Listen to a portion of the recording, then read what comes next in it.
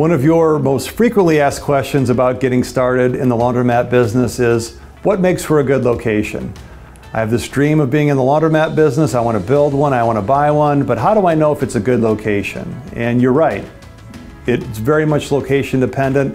This is not sort of a general location or general retail. You really need to be located very close in to where your core customers are located. People aren't going to travel too far uh, to do their laundry. It's one of those weekly repetitive chores or errands. You got to make sure that you're close to the customers. So with that in mind, let's go through a couple of things that I think make for a good location, at least in terms of things that you ought to be analyzing. So first and foremost, let's talk about demographics. This is the raw data. Drop a pin on the map, look at a half mile, a mile, a two mile radius, and the generic information, the raw information that's coming is who lives there. So that's everything from the number of households to uh, the persons per households, renter versus owner occupied households, and it gets granular in terms of car ownership and the age of the building and, and just you could have 50 or 60 different data points. But an analysis of that raw demographics is really important in trying to determine whether or not this is a good location. And of all those crazy data points, the things that I would focus on uh, would really be the renter versus owner occupied, right? Renter is more likely to use our service. Uh, persons per household, the more people, the more dirty clothes, and household income. And because, you know, generally speaking, the lower the income at the household, the more likely they can't afford or don't have access to their own washer dryer. So step one, take a look at the raw demographics. The next step in determining whether it's a good location is to try to answer this very important question. Where's everyone doing their laundry now? Right? Laundry gets done, rain or shine, good times and bad.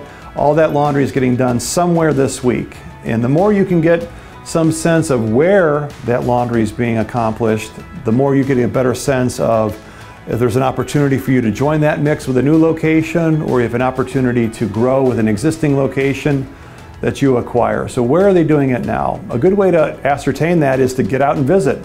Put a load of laundry in your car, drive around, do your laundry in five or 10 or 20 or 50 different laundromats and especially if close into your own market where you think you might be in the business yourself, start to get an inventory. You know, start to get the data set together. So how many parking spaces, how many machines, what are their vend prices, is the store clean or is it not clean?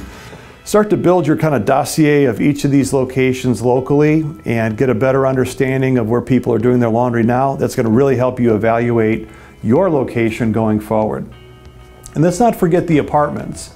Uh, vended laundry equipment, most of that is going into the apartment setting. So the extent to which you can understand, are there laundry equipment uh, present in those apartment settings? Is it brand new equipment? Is it old equipment? Is there a washer dryer in every unit?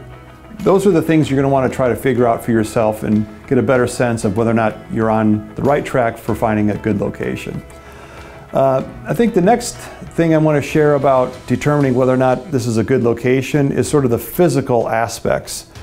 So things like visibility to the street, how the signage appears to traffic coming in either direction.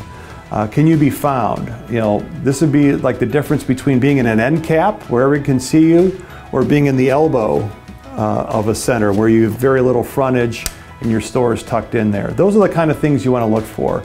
Uh, is there easy ingress and egress? Do you have to take a wicked left turn to get into that business or is it an easy right turn you pull right in? Uh, is the parking uh, way far away or is it right up to the front door? You know, so just start to think through the physical aspects of the location and naturally that comes after the raw demographic analysis and an evaluation of the competition in the area and where people are doing their laundry now. But then you need to start to look at the physical space itself. Is this right for a laundromat. So everyone asks, is this a good location? Those are three things you can look at to help uh, determine whether or not this is the best location for your laundromat. So thanks for joining us at Laundromat FAQ, and we'll see you next time.